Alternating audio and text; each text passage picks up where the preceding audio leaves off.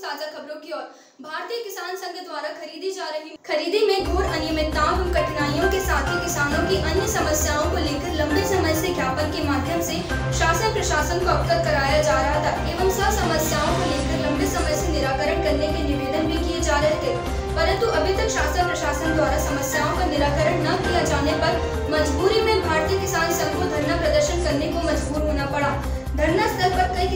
अपनी बात रखी। किसानों का कहना है कि बेमौसम बारिश के कारण मूंग की चमक कम हो गई है लेकिन अंदर से दाना साफ़ है। इस प्रकार की मूंग की खरीदी की जाए एवं विगत सप्ताह में उपार्जन की साइट बंद होने से मूंग खरीदी का कार्य पूरी तरह बंद है। अतः ऐसे ठेका कराकर खरीदी जल्दी शुरू की जाए। और भी अन्य मांगों को लेकर किसानों द्वारा प्रशासन से अपनी बात रखी गई।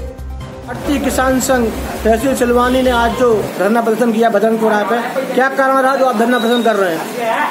भारतीय किसान संघ मूल संगठन है। हम लोग तो बहुत धीरजबंद लोग हैं। तो क्या हुआ? एक महीने से मूंग की तुलाई में परेशानियों पर परेशानी आ रही है।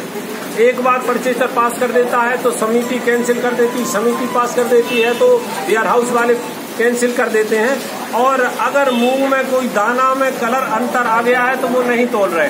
इस तरह से कई परेशानियाँ। एक महीने से हम लोग, किसान संघ के लोग बार बार प्रशासन से बोल रहे हैं और एक बार बैठक करके एसडीएम कार्यालय में सामंजस्य भी बनाया डीडीए डीएमओ के साथ में बैठकर।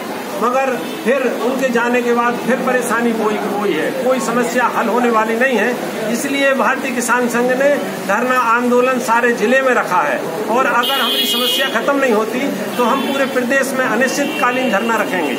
ये कब तक चलेगा आपका धरना प्रदर्शन?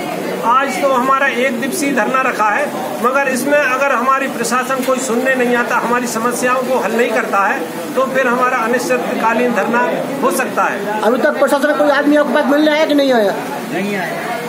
अभी हमारे पास एस डी एस